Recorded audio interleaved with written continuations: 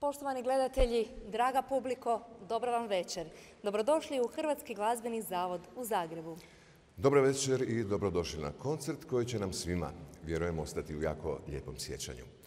S nama su večeras i naši uvaženi gosti, izaslanik predsjednika vlade i ministrice kulture i medija, državni tajnik Krešimir Partel. S nama je i izaslanik predsjednika Republike Hrvatske, gospodin Zdravko Zima.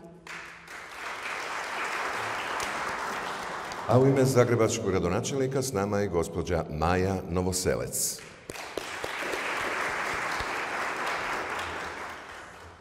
Kucno je čas za posljednji koncert u ovoj povijesnoj zgradi prije konstruktivne obnove koja bi mogla potrajati godinama. Budući da su upravo ovdje u ovoj zgradi Hrvatskog glazbenog zavoda u Gundulićevoj ulici postavljene prve skele u Zagrebu nakon potresa 22. ožujka prošle godine i to zahvaljujući privatnim donacijama iz zemlje i svijeta, misao vodilja ovog koncerta jest donatorstvo u kulturi.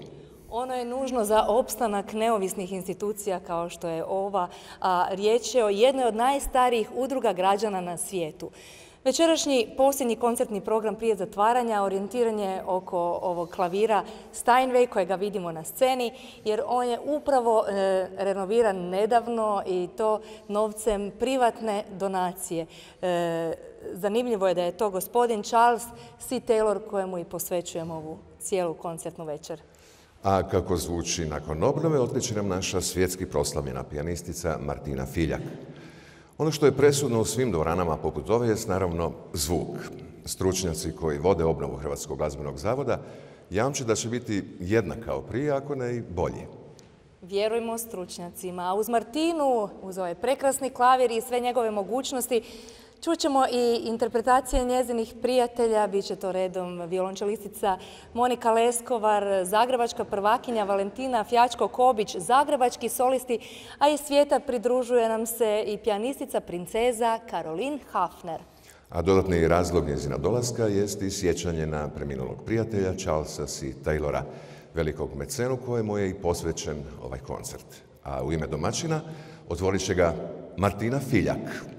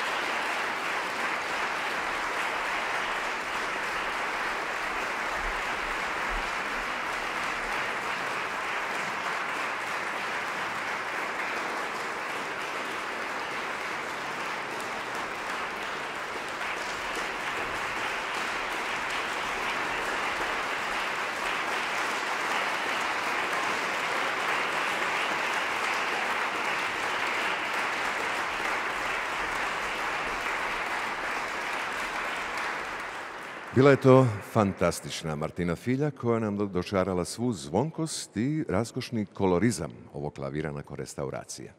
Njezin izbor dijela pao na onu početnu arhitekturu. Bachov preludi fugu izvorno za orgulja, ali u klavirskoj transkripciji i obradi velikog pjanističkog virtuoza i skladatelja 19. stoljeća Franca Lista.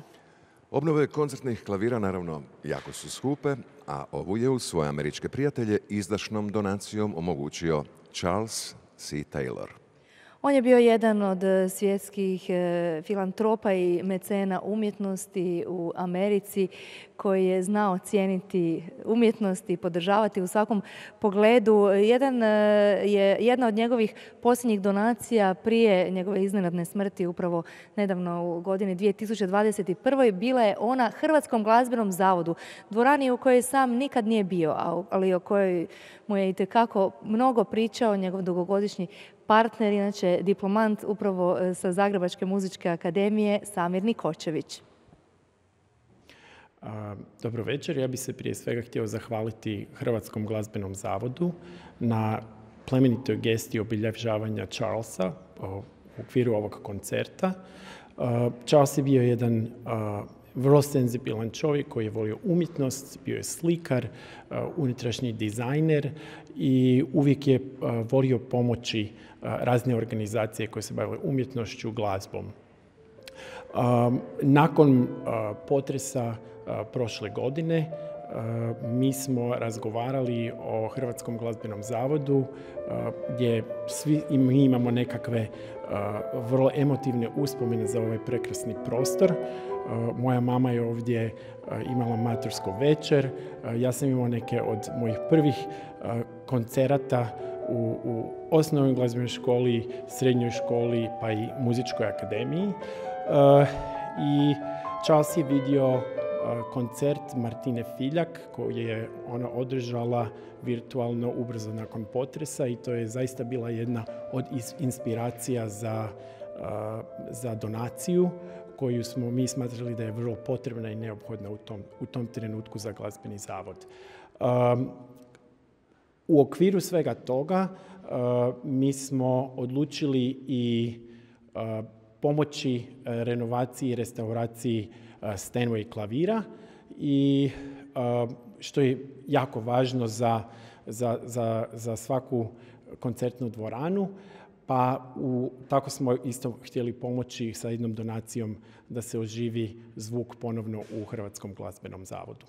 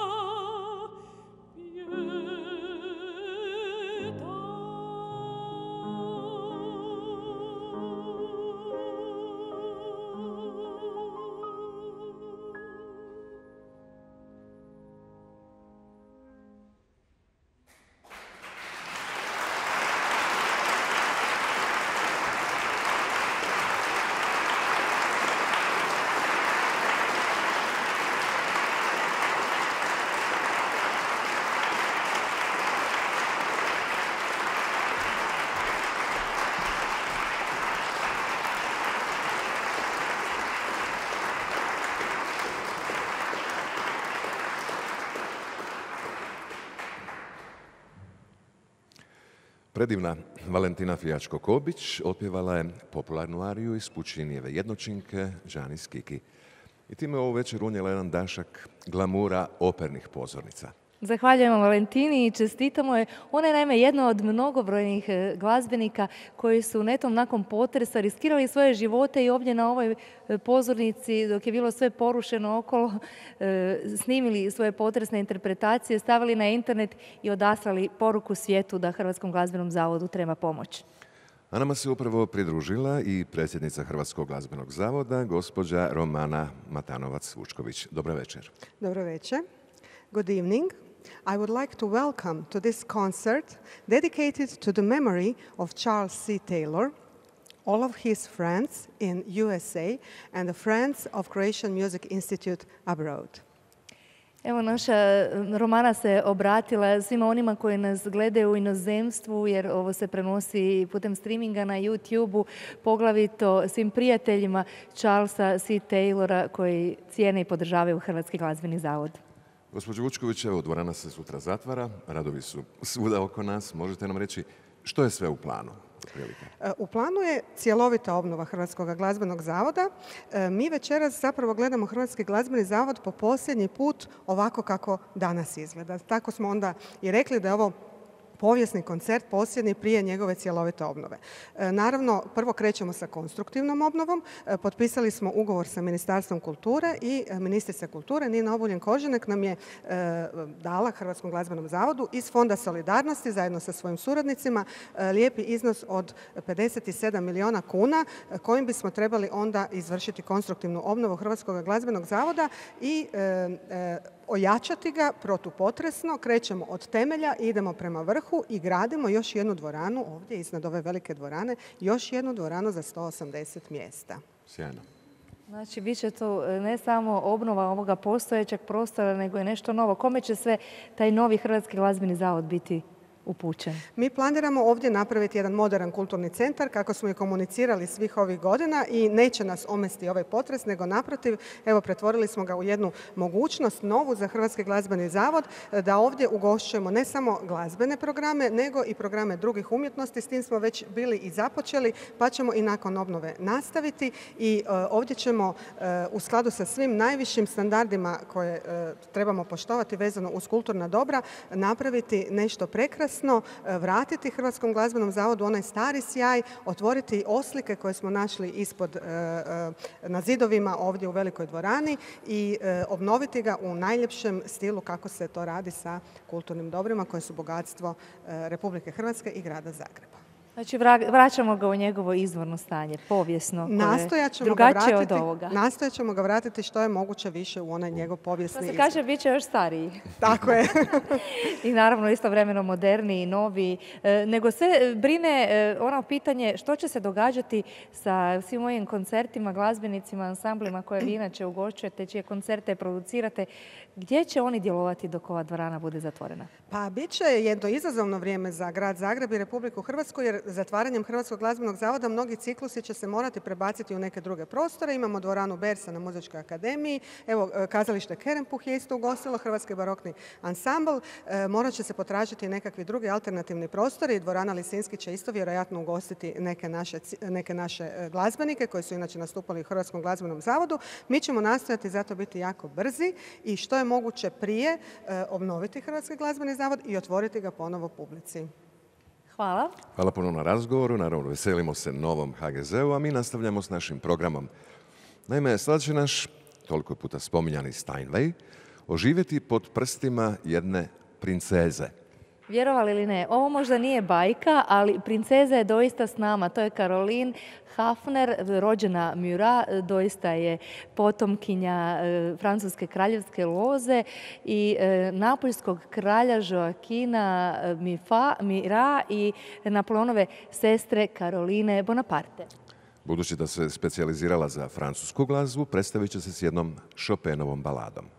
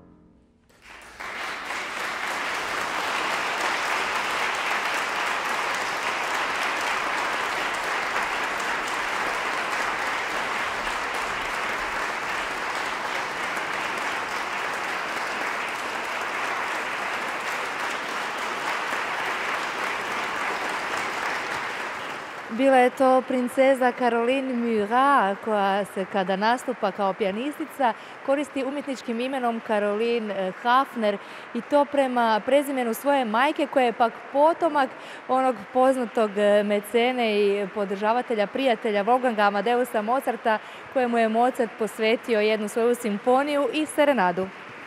A njezin izbor za ovu večer, posvećenu prijatelju Charlesu C. Tayloru, bila je Chopinova četvrta balada u F-molu.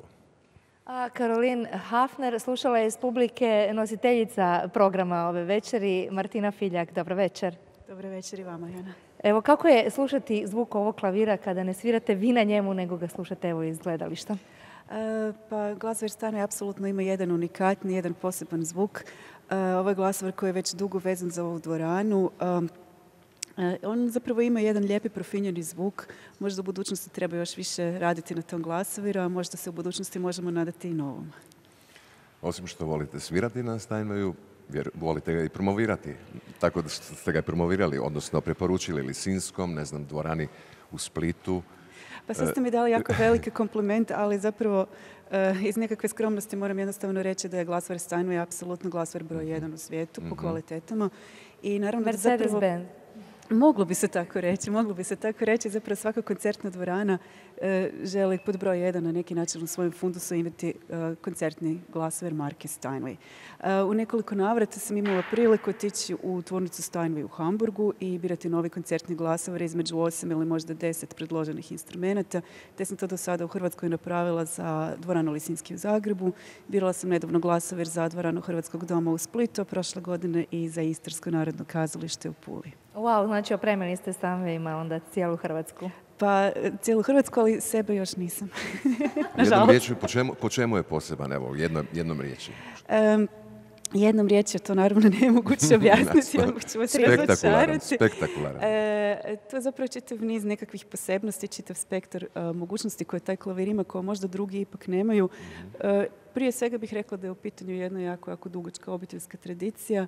Nije riječ o masovnoj proizvodnji, svaki glasover je unikatno ručno proizveden, znači od samog početka sazrijevanje drva pa zapravo do samog eh, kraja, do samog finiširanja sve je rađeno ručno i zapravo jako malo toga rađeno strojno. I taj glasovir je zapravo vrlo specifičan po veličini zvuka, po volumenu zvuka i po alikvotnim tonovima koje taj eh, glasovir zbog svoje vrlo specifične konstrukcije može pružiti. Zato je idealan za jako, jako velike koncertne dvorane, ali evo recimo i za dvoranu ovog tipa kao što je Hrvatski glazbeni zavod. Jasno, jasno, da. A ova eh, renovacija koja je upravo se i dogodila zahvaljujući donaciji Charlesa C. Taylora je sve to poboljšala. Za razliku od gudačkih instrumenta koji s vremenom dobivaju na kvaliteti, klaviri čini se malo popuštaju.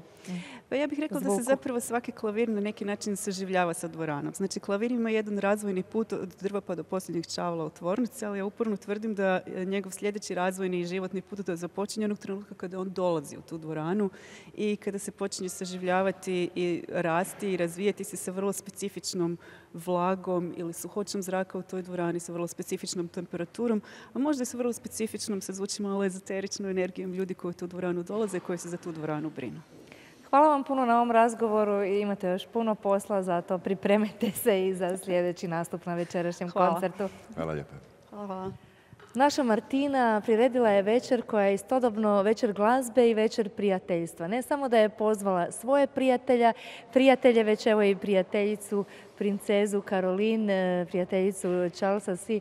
E, Taylora, e, koju je sprijateljila sa svom dugogodišnjom prijateljicom, violončelisticom Monikom Leskovar. Ove dvije sjajne umjetnice sada će nam osvirati popularnu vokalizu Sergeja Rahmanjinova.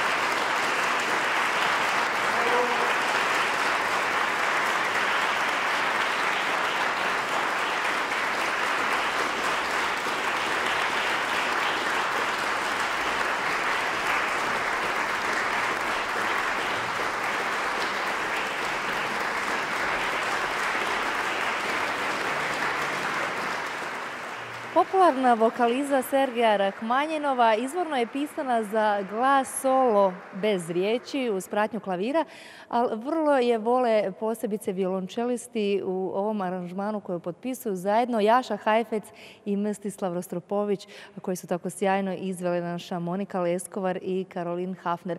A kad su vokalize u pitanju s nama jedna vokalistica naša draga Valentina Fjačko-Kobić koja nam se predstavila prethodno ulogom Laurete. Dobro vam večer. Dobar večer.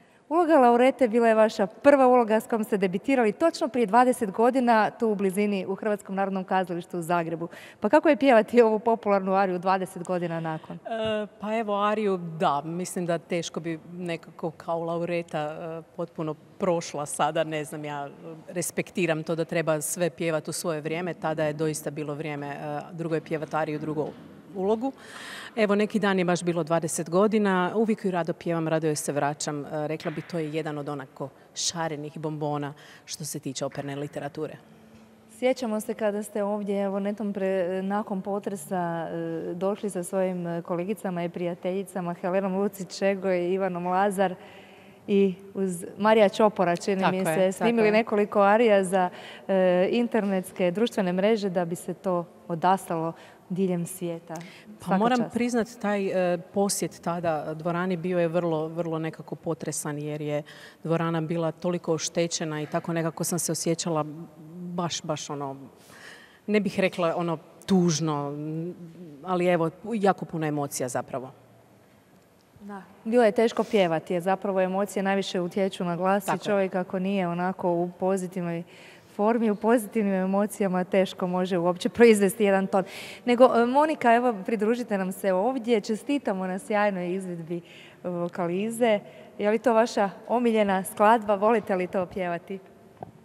Pjevati na violončelu, da. Rado bi htjela moći pjevati, ali da, to je jedna kompozicija koja me evo prati kroz već dosta godina i svirala sam ju sa raznim pianistima, ali danas mi je bila posebna čast svirati sa Caroline.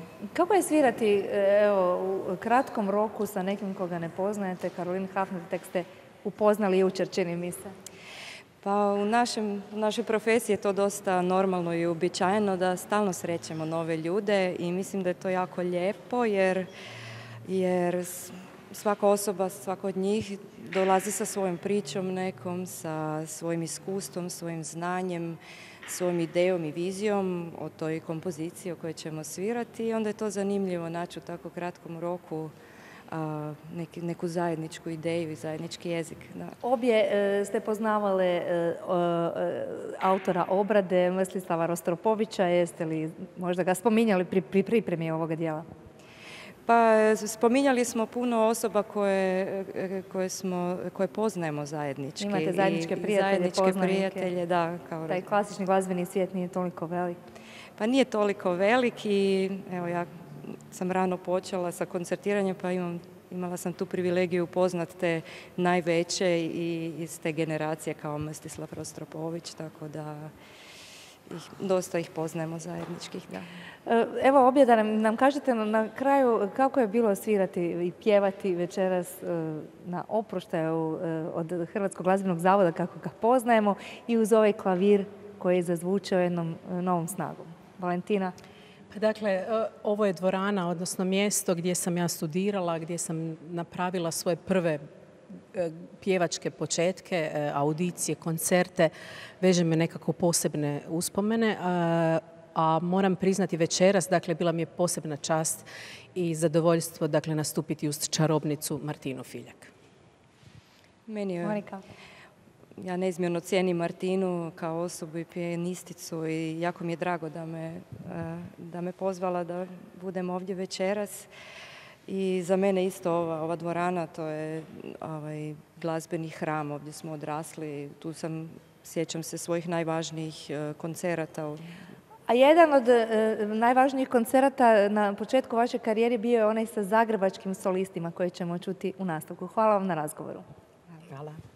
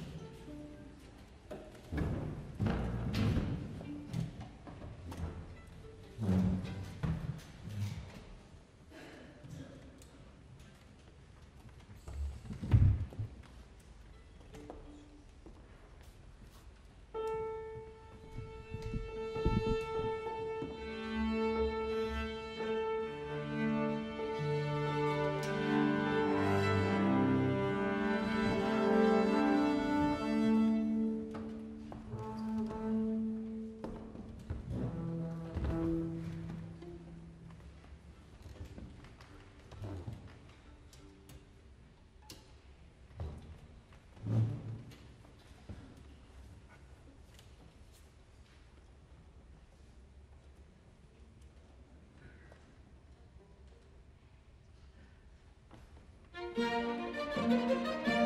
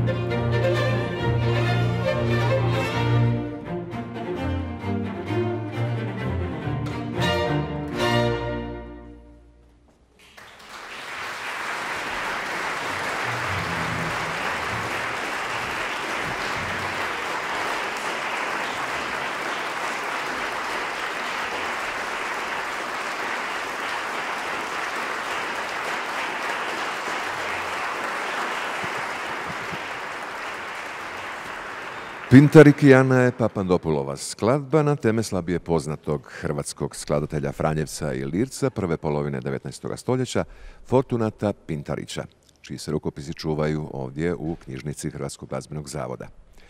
On je izvorno svoj Dudaš napisao za klavir. Kako se nekoć Fortunat Pintarić zalagao za ilirske ideje, tako se naša jedina gošća iz inozemstva večeras e, nosi onom idejom da je moć glazbe tolika da može činiti ovaj svijet ljepšim. S nama je Karolin Hafner. Good evening. Good evening. Dobro večer. Hello. Welcome to Zagreb. Welcome to Croatian Music Dobrodošli u Hrvatski glazbeni zavod. Ovo nije prvi put da ste u Zagrebu, tako je drugi put sam ovdje. A kad ste bili prvi puta i kako se sjećate Zagreba?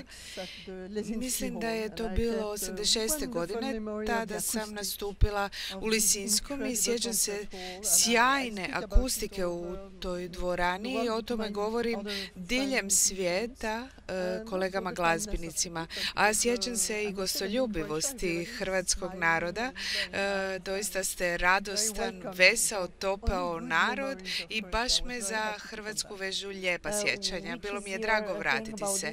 A kakav vam je osjećaj danas ovdje? Prvi put ste nastupili u Hrvatskom glazbenom zavodu. Prekrasan, prekrasan prostor, prekrasna dvorana i osjeća se povijest glazbe koja se e, dugo ovdje svirala. Možete li usporediti e, ovaj prostor sa drugim dvoranama u kojima ste nastupili? Podsjeća me na e, stare dvorane koje se mogu naći diljem svijeta, posebice u Beču, koji je veliki glazbeni grad. Došli ste isto tako slaviti sjećanje na prijatelja, gospodina Charlesa C. Taylora, koji je nedavno preminuo. E, po čemu ga se sjećate? Pa došla sam ovdje na poziv kolega i htjela sam e, doista odati počastom nježnom čovjeku, pjesniku. E, nije često da susrećete nekog velika srca poput Charlesa. Strašno mi nedostaje. Jako sam sretna što sam imala priliku svirati u njegovo ime večeras. A kako je biti princeza u današnje vrijeme? E, danas više nema kraljevske, kraljevskih obitelji kakve su postojale nekoć, iako e, formalno oni i dalje djeluju i postoje. U Francuskoj to više nije onako kako je nekoć bilo. Nema nade da više zasjedemo na svoj tron, mogu reći. E, I e, nekoć je bilo bitno biti e, član kraljevske obitelji, jeste mijenjali svijet. Jo Hafner, princes Mura, hvala vam na ovom intervju i hvala što ste došli u Zagreb. I meni je bilo zadovoljstvo. razgovarati sa našom princezom, slušati njezine izvedbe. Za sam kraj, poštovane gledatelji, nešto zaista sasvim posebno. Spektakularan finale učinit će završni stavak Beethovenovog trećeg koncerta s Martino Filjak i zagrebačkim solistima.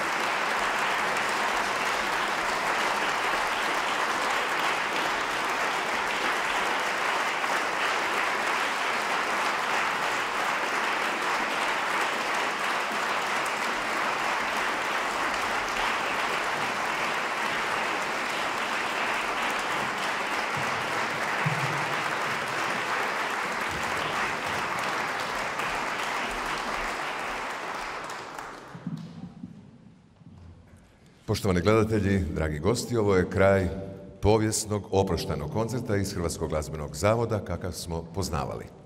A on će nam nakon ove obnove zasjasti još sjajni, još ljepši, s još boljom akustikom, sa novom koncertnom dvoranom na četvrtom katu, a i ne da Bože, u slučaju novog potresa bolje će odoljevati. Tako je. Kako bi to bilo moguće, naravno potrebne su donacije plemenitih ljudi koji su prepoznali i prepoznavaće vrijednost ovakve institucije za naš grad i za našu zemlju. Kako smo naučili u pandemiji, ne možemo živjeti samo od zraka, hrane i pića. Potrebna nam je i umjetnost. Čestitamo i zahvaljujemo Martini Filjak i njezinim prijateljima, zagrebačkim solistima Moniki Leskovar i e, Valentini Fjačko-Kobić i Karolin Hafner. Hvala svima na prekrasnim zaista izvedbama i na kraju možemo samo reći neka živi sjećanina Charlesa C. Taylora. A nemojmo zaboraviti ni Hrvatski glazbeni zavod u onim godinama kada ova zgrada ne bude otvorena. On će živjeti u drugim prostorima grada. Hvala na pozornosti. Doviđenja. Doviđenja.